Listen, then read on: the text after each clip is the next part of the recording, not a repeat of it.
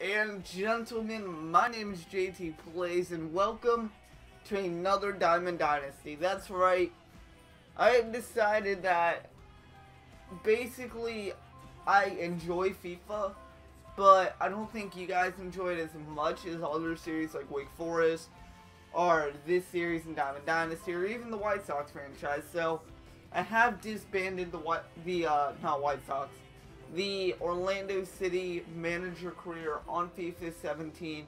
No more FIFA videos. But, hey, look at the bright side. We have new games coming out. NHL, Madden, NASCAR, and so many other games. So guys, while FIFA goes away, we have like three or four games coming in a month to two month span. So get ready for that. Today in this episode, we're opening one pack, but it's a special pack. They came out with it, I believe, Friday, and it is the rookie draft. Draft early, choose wisely pack.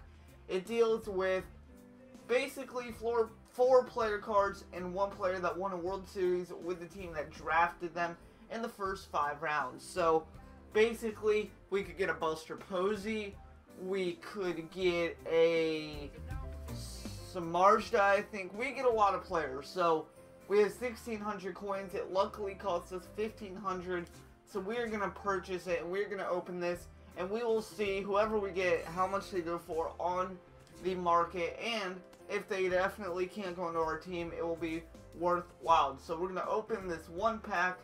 You get four cards. That's it. Increased chance of diamond and gold. Let's get into it. We'll probably pull gold Let's hope so. And no, we pulled nothing. Wow. We pulled Brett Gardner, but, um, okay. Not really what I was expecting, I'll be honest. Got a AJ Cole, Jon Jay, Carlos Contreras, and Brett Gardner. Well, it certainly isn't a Buster Posey, but we'll go check out Brett Gardner. And hopefully he goes for something now, we could probably... Actually, no. Can't even put him into the lineup. So, you know what? We'll go on the market. And if he's not going for much, we'll just send him into the collection. Yankee collection, whatever. But we are going to filter, and he was 80 overall. Outfielder, I'm not going to specify which. And max overall is 80. And he was a, uh, not starting pitcher. Let's do left fielder. And there he is, 83 stubs. Not, not a lot. So you know what, we'll keep him. And uh, yeah, that's going to be it guys.